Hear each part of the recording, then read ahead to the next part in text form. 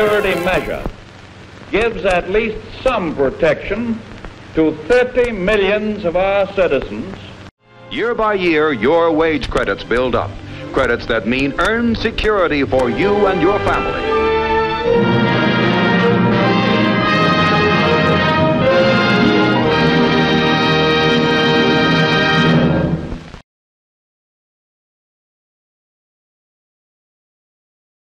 With a guest list that read like the who's who of Social Security, the silver anniversary celebration of the signing of the Social Security Act was launched in Washington. The Social Security Administration played host to dignitaries past and present. The Department of Health, Education, and Welfare auditorium was filled to capacity at 2 p.m. on Monday, August 15th. Social Security Commissioner William Mitchell, presiding at the rostrum, began the milestone event. Secretary Arthur Flemming made opening remarks and introduced Madam Frances Perkins, who was Secretary of Labor during the Roosevelt administration when the legislation was put into effect. Madam Perkins, a vivacious woman who had retired to lecturing on industrial and labor relations at Cornell University, spoke extemporaneously about the early days of the program. Adapted from the 25th anniversary article from Oasis. Now, as uh, uh, Secretary Flemming has already pointed out, uh, we are just tremendously honored here today by having Ms. Perkins with us. Uh, your presence here today, Ms. Perkins, really makes our day complete. And uh, uh, we hope, while I realize that it's something of an imposition uh, upon you without more warning, uh, we, we would hope that you would find it possible to say a few words of greeting. Madam Perkins.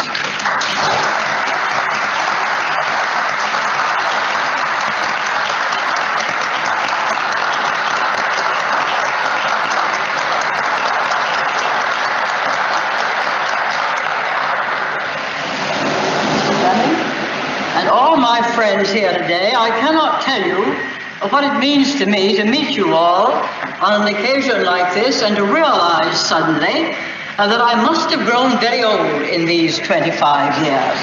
Because I see on some of you whom I thought of as the working boys of the first staff of the uh, enterprise that was attempting to bring forth the Social Security Act, I see some of you touched with the grave.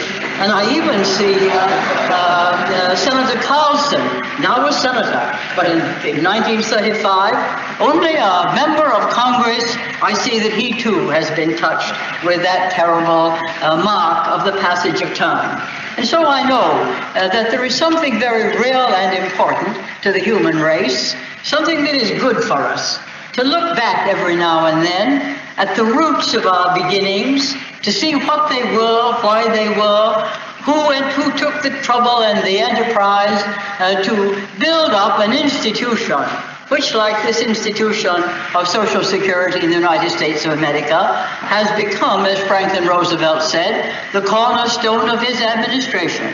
For I think that nothing that was done during his day has brought so much uh, credit to his name and to his wisdom as has this one thing.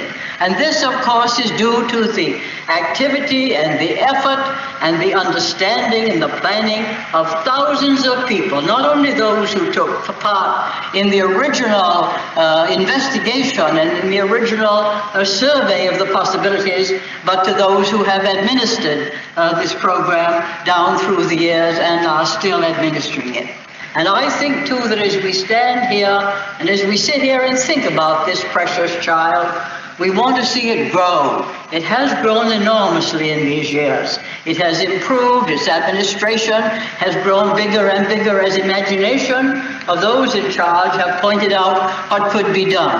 But there is yet much that needs to be done, and that I hope in God's good time will be done by bipartisan action as were the last amendments.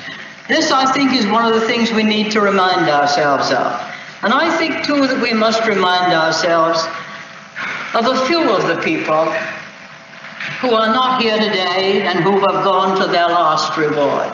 And in particular, I think of Ed Witte of Wisconsin, who did heroic major work of writing with his own hand the, the, the, results of the deliberations of committees and subcommittees and student researchers and who drove a high-powered team of volunteer workers uh, who came to do the research work uh, for those of us who had the responsibility of developing uh, and proposing to the President and by the President to the Congress uh, the Social Security Act. But this was a thrown together team, as many of you remember. We had no money. It was a great misfortune. Uh, the, the Committee on Economic Security had been appointed, but nobody remembered to have the Congress pass an appropriation for us to work on. It was a little embarrassing, and it seemed as though it couldn't be done. Uh, but uh, by one device and another, it was all honest. Everything we did was honest. yeah. Really fell into the trap. Um, but we borrowed the money uh, from um, from Harry Hopkins, as a matter of fact.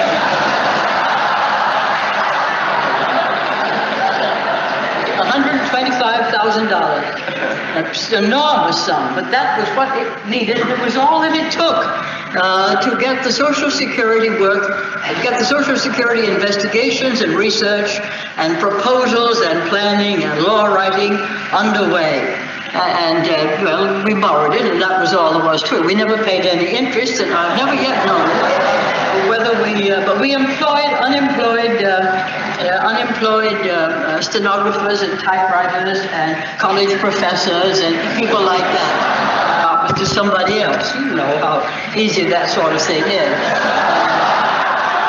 The Labor Department, of course, we gave over almost bodily.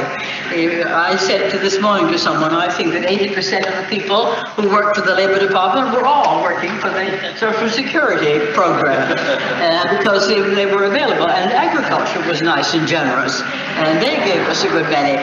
I may say that Treasury, which was also on the Economic uh, uh, Security Committee, which the President appointed, gave us just two very measly little things.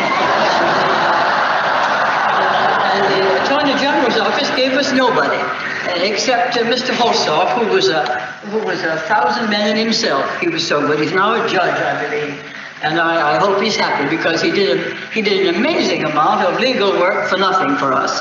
But this was all that we had to work with.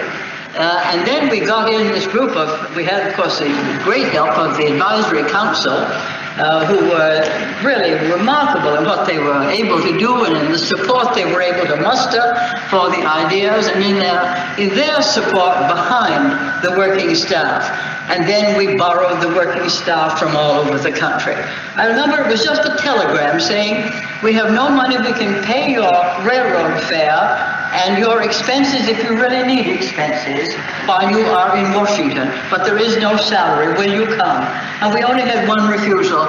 And the people who knew the most about these ex- existing security systems in other countries uh, came and worked willingly and worked at high pressure all through a summer so different from this one that you can hardly believe it possible. And this was the team of high-powered people uh, professors from all over the country whom Ed Witte had to drive and from whom he had to extract a program and to whom he had to break the news. Uh, that this particular idealistic uh, pattern, which some professor had thought out, wouldn't do because, you know, the Senate, the Congress, the Supreme Court, politics. It was not easy thing to drive. Uh, but this was a very different summer, and I shouldn't talk more uh, about the past because no one likes to hear the reminiscences of those who uh, may be incorrect in a part of their reminiscence. But this, the summer was so different. I wish I could make it clear to you. It was, in the first place, it was hot, really hot. If any of you have looked at the newspaper pictures of the Congress assembled in that long, hot period, because they didn't adjourn and didn't adjourn, was still in session in August uh, have looked at the pictures of the, uh, of the ceremony of signing the bill in President Roosevelt's office, have looked at the bedraggled state of the hair and the clothes of the member of the people who were there present will realize it was a terrifically hot Washington summer. And we worked all through that terrifically hot summer. And then again, there was another difference. We were not yet out of the woods of the Great Depression. And of course, it was the Great Depression which we must never forget in this country, which was the proximate cause of this movement which was launched at that time, this movement to write under the, under the lives of the American people a basis of security which came to them out of the orderly and, and substantial and regular co- contributions to their future and to the future hazards. It would not have been done in that year, I am sure, except for the fact that the Great Depression was still staring us in the face, and we were conscious of it whenever we walked on the streets of Washington. These were the different days. Today, this is a very different world. You even have air conditioning, which we never heard of, you know.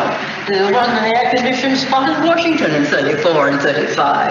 And as for how we were going to keep the records, you know, of the Social Security uh, program once it was launched was one of the great problems. Uh, the IBM uh, uh, hadn't yet invented uh, the machines which you all operate so easily. And I want you to realize that it took some uh, uh, courage, uh, uh Mr. Secretary, to launch the program without the IBM machines. And I never.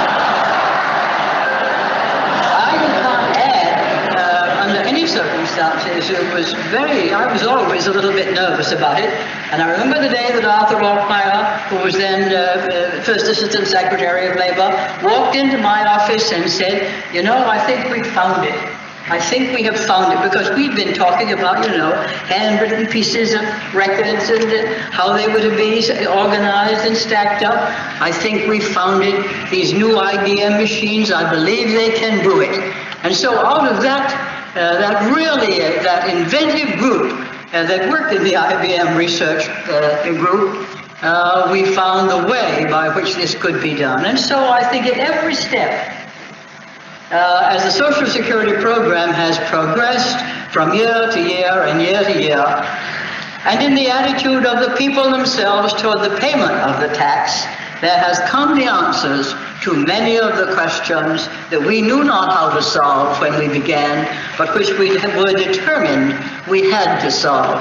And I am thankful to say uh, that I believe we did solve them, and I learned from your own speech uh, Mr. Secretary, uh, that you too believe that problem has been solved and that we will go forward into the future a stronger nation because of the fact that we have this basic rock of security under all of our people.